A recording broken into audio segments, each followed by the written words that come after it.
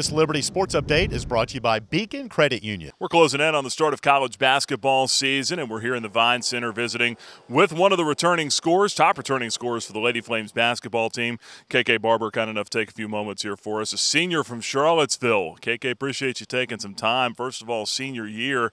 This has got to be exciting for you. What kind of expectations do you have for yourself?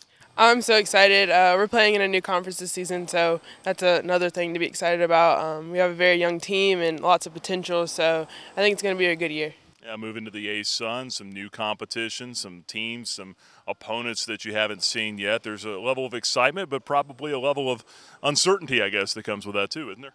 I like that element of it. Um, I guess playing in a conference for so long, you get kind of complacent. And so moving into a new conference, they don't know anything about us. We don't know anything about them. So it's just an all around excitement for our team and then the other teams as well. Early on, these first few days of practice, what do you think the team wants to get accomplished here? Um, Coach Green is very big on rebounding. So we're going to be working. Shocker. No. rebounding, rebounding, rebounding. Um, just getting down our offense, uh, getting down our defense also to be more specific. So. Uh, in all seriousness, though, Coach Green has uh, built a, a, legacy off of rebounding, offensive rebounding, especially here at this school, and uh, you've been a big part of that. And uh, certainly, as far as scoring as well, uh, you had a lot of success in the conference tournament last year. You're the MVP. Uh, did that give you some confidence coming into this season?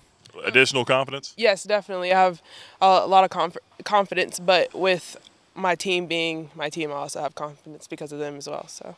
A lot of new faces on the team here this year, and uh, a, a, lot of uh, freshmen and, and folks that maybe haven't gotten the minutes that they have in the past. What do you think can be expected from this bunch early on? Uh, like I said before, we're definitely young, but we have lots of potential, and we've done a substantial amount of team bonding. So I think that's definitely helped us out and molded us into a team that's going to do some damage in the conference this year. How much did the Israel trip help this summer? Oh, it helped a lot. Spending two weeks with lots of people for like that's a long time to spend together. So yeah. What are you most excited about for this upcoming season? I'm excited for I guess traveling to new places. We'll be in Florida a lot, and that'll be nice to get away from the cold weather up here and go down to some warm weather.